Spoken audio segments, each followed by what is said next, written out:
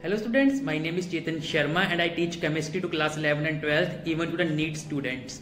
My qualifications are MSc Chemistry and B.Ed. I am having a 7 year of experience in teaching chemistry. Basically most of the, my experience is from army school.